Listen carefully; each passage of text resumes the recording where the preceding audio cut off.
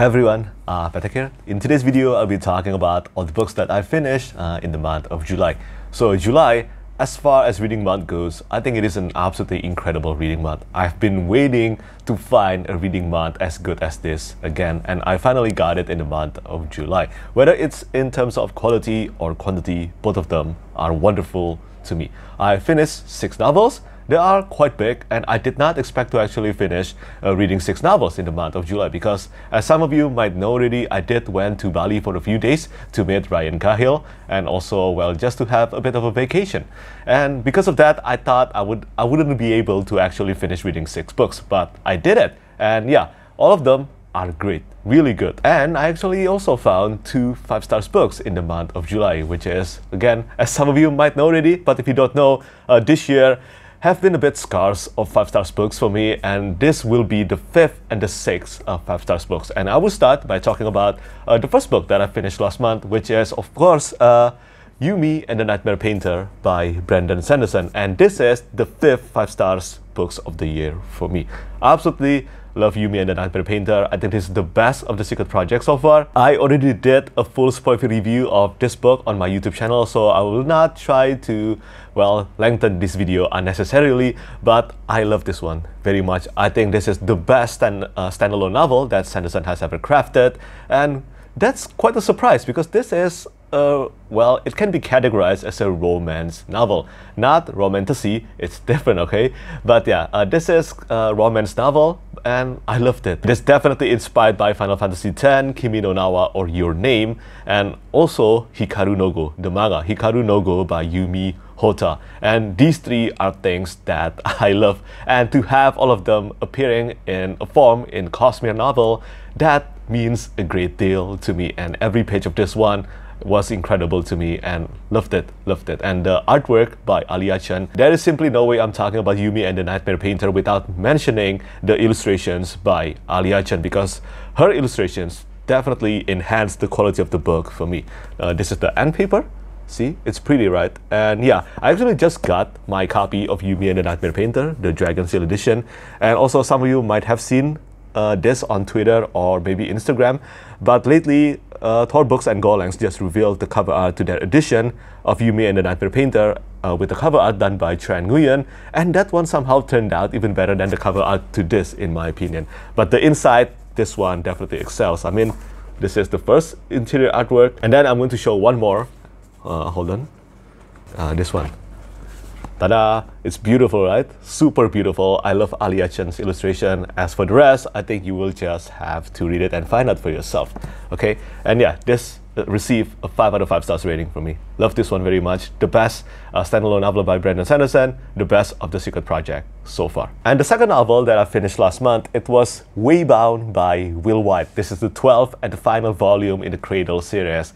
And I think I consider Waybound to be my second favorite book in the entire series. Now, if you're uh, entering Waybound expecting that every single thing in the story, in the series, will be resolved, then you might be disappointed because when I finished uh, Dreadgod, the 11th book in the series, which is the penultimate volume, I already knew that this one will not be able to solve every single thing in the Cradle series. It's impossible.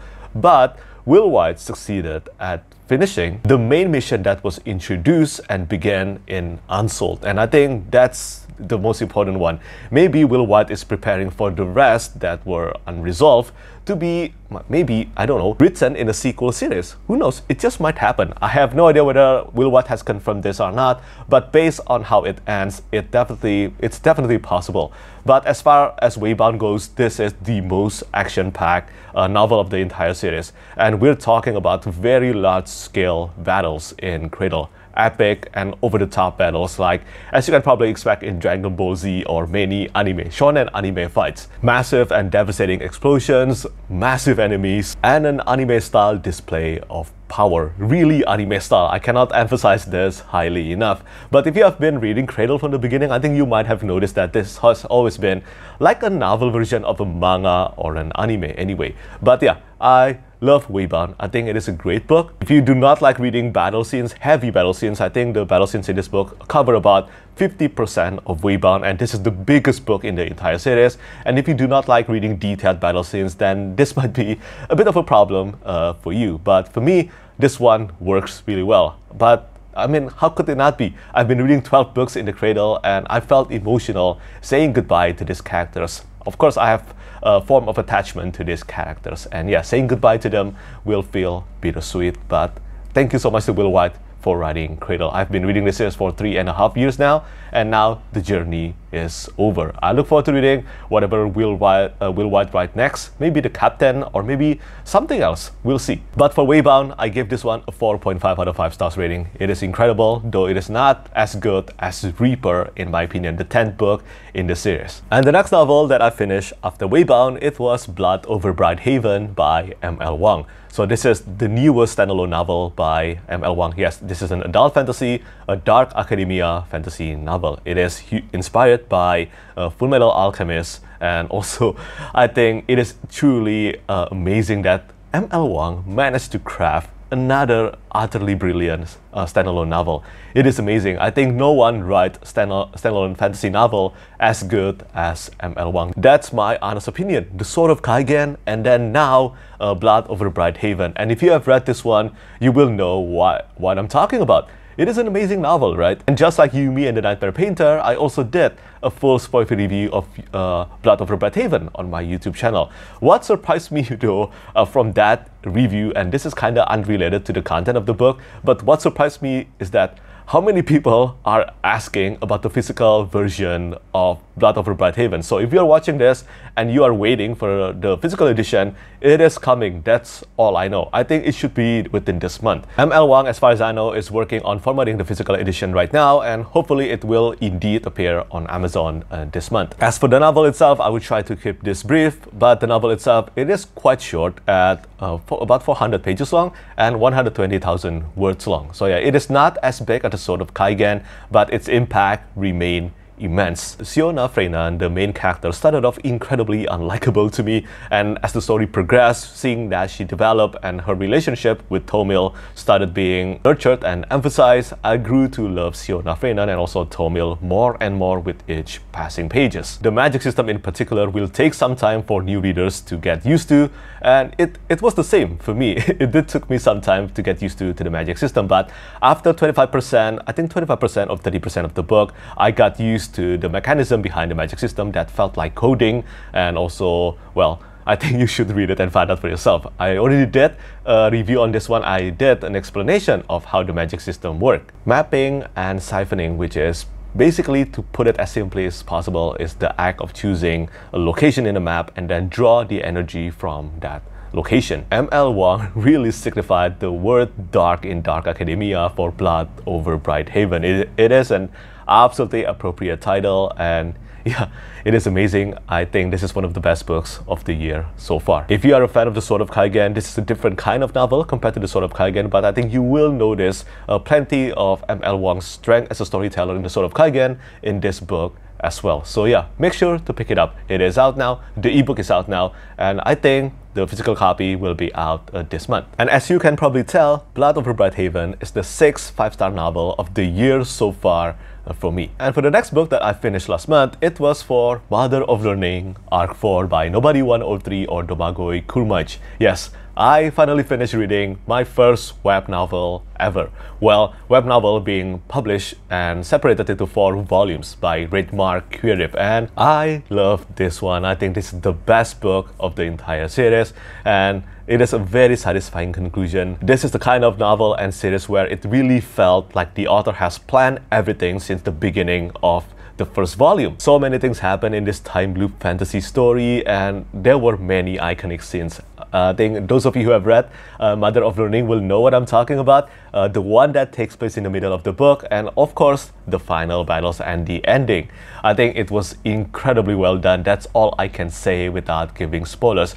I will say though that just like Waybound, this is again a very heavy, uh, this is again very heavy on the battle scenes, especially the final battle. I think it was 100 or 150 pages long of battle scenes. So again, it can uh, the pacing can feel a bit draggy if you're not a fan of reading uh, battle scenes in your books. But for me, I think it worked absolutely well. I love well-written battle scenes in my fantasy books, and this is a great example of how it should be done when you use a lot of magics and taking into consideration everything that has been built from the first book up to the end. It's so well done, and it is a sign that I definitely should read uh, more web novels. The, at least the popular or the highly praised ones like uh, The Wandering Inn, Worm by Wildbow, and I think A Practical Guide to Evil. I think that's a title by Erratic Errata, and then yeah, there are more like Lord of the Mysteries and many more. Yeah, I've been getting some recommendations on web novels to tackle, and I will try to tackle at least one each year. So I don't know. I do not think I can find the time to actually read Worm uh, within this year because that's that's even bigger than Mother of Learning. It's as big as the entire uh, A Song of Ice and Fire so far, the five books in A Song of Ice and Fire. So I do not think I have the time for it. But rest assured that I would try to read that probably within next year. But for now, I would just say that if you haven't read Mother of Learning and you love time loop fantasy story with a great uh, magic and coming of its uh, theme, definitely pick up Mother of Learning by Nobody 103. The series is finished already and you can just read it now. Every volume, four volume in the series, all of them are consistently great. I will give each and every one of them a 4.5 out of 5 stars rating. But in, in the first place, this is a web novel, so I'm pretty much just giving one big volume or the entire series a 4, 4.5 out of 5 stars rating. And the remaining two novels that I finished uh, last month, both of them are reread. And the first one is Beyond Redemption by Michael R. Fletcher my overall thoughts uh, regarding this book is pretty much the same as the first time I read it. It is filthy, it is dark, it's disgusting, and yet it is so compelling. It is just so hard to stop reading Beyond Redemption by Michael R. Fletcher. I think this is actually his first published fantasy novel, and I read this one for the first time in the year 2017, and ever since then, he has published like, I think 10, 10 novels. It's a lot. And yeah, all of them are pretty dark, all the ones that I've read anyway.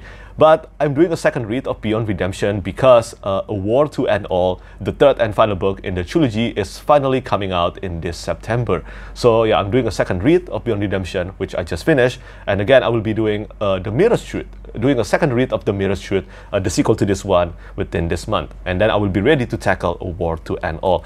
But this has one of the most fascinating and interesting magic system in fantasy or grim dark fantasy that I have ever read. It is so creative, sounds so simple, but it it's pretty much like something that I should have thought about something like this a long time ago, but you won't realize that until you have actually read Beyond Redemption. The Manifest Delusion series is still one of the darkest series of fantasy novels that I have ever read. It is amazing look. I do not think Beyond Redemption is as good as the sequel, The Mirror's Truth, but regardless, this is awesome. If you love grimdark fantasy novel, definitely pick this one up. The story takes place in a world where fate shaped the landscape and it can defy the law of physics and pretty much everything.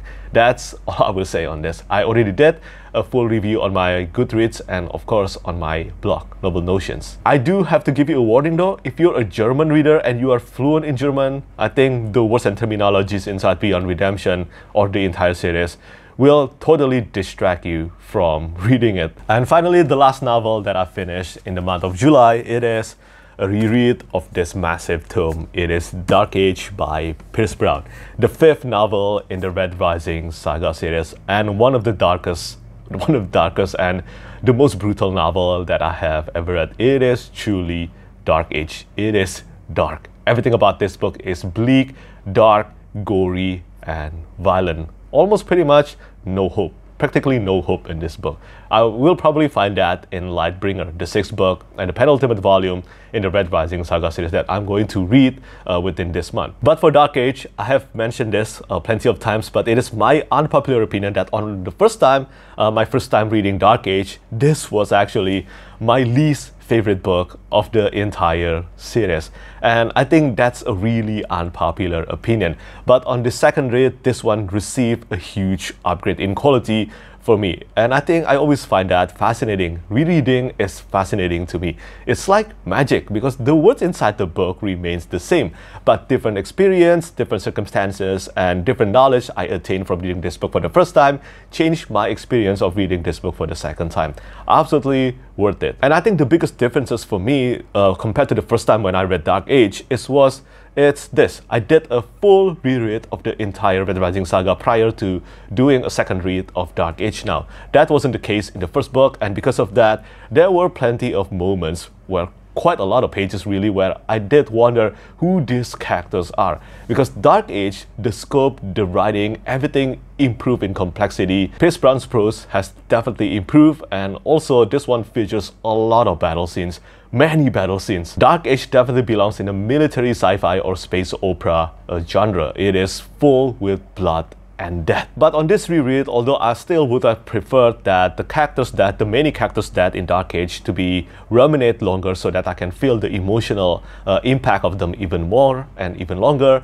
But I feel like on this reread, I can fully appreciate what Pierce Brown is trying to do with Dark Age more than the first time I read through it. The appearance of the new villains in Dark Age still felt a bit forced to me on my second read, but I've, again, as I said, I felt like I can appreciate them even more, and this might feel like I think this could truly be the necessary step for Brown to make Lightbringer and probably Red God shine further. And I look forward to reading that as soon as I can. This is absolutely stunning, epic, and yeah, it goes again without saying that. Up to this day, Red Rising Saga is still my favorite sci-fi series of all time, and this reread of Dark Age just proved that. Very much looking forward to reading Lightbringer very soon. And if you are someone like me who felt disappointed with Dark Age on the first time uh, reading, well, probably second read will change that because I gave Dark Age on my first time read a 3.5 stars, but on the second read, I will have to give it a 4.5 stars. I don't know, I might even upgrade it to 5 stars uh, with, uh, with the passing of time,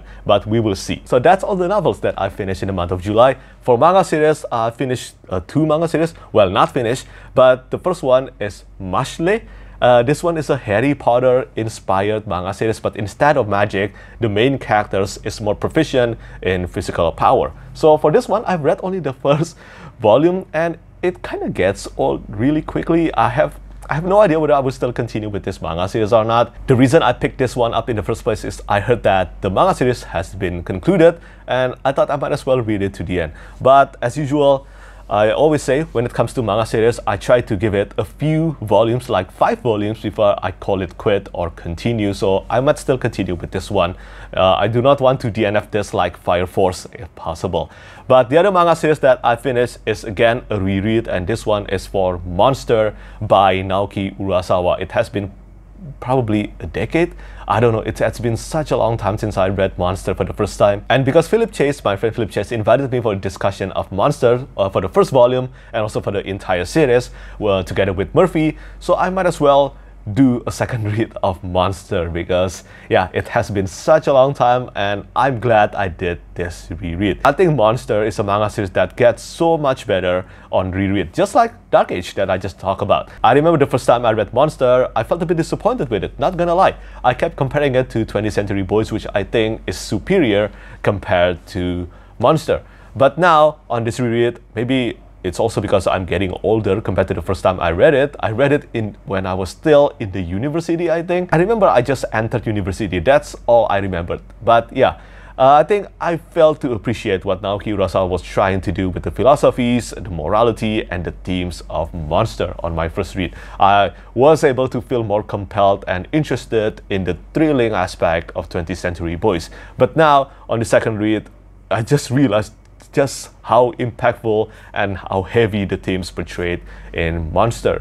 Sure, there were still some issues like some things might be a bit too convenient. Some encounter and events might be a bit too convenient, but overall I do not think of them as a big issue for me. I still love Monster and I consider Naoki Urasawa to be one of the best mangaka, really. Monster, uh, 20th Century Boys and Pluto. These are the three best manga series by Naoki Urasawa and I have read almost all of them. I think the only one that I haven't that I haven't read is Asadora, which is the newest the newest one by Naoki Urasawa. That's the only one that I haven't read.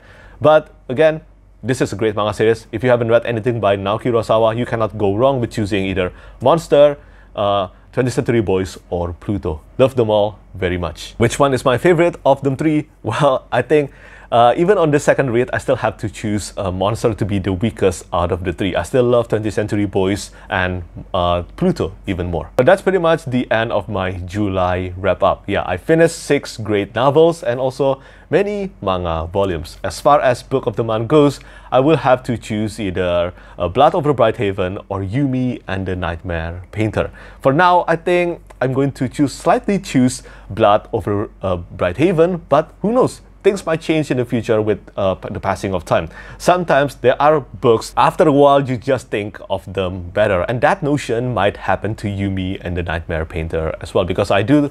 Well, it, it's hard for me to forget about Yumi and the Nightmare Painter. It is a story that matters a lot to me, and I loved it very much. So yeah, you know what? Just I'm just going to choose the two of them, okay? Blood over Brighthaven and also Yumi and the Nightmare Painter. These are my two best books of the month. So that's pretty much it. That's the end of my July wrap-up video. Do let me know what you think about my July wrap-up and please tell me how many books you finished last month and which one was your favorite book of the month.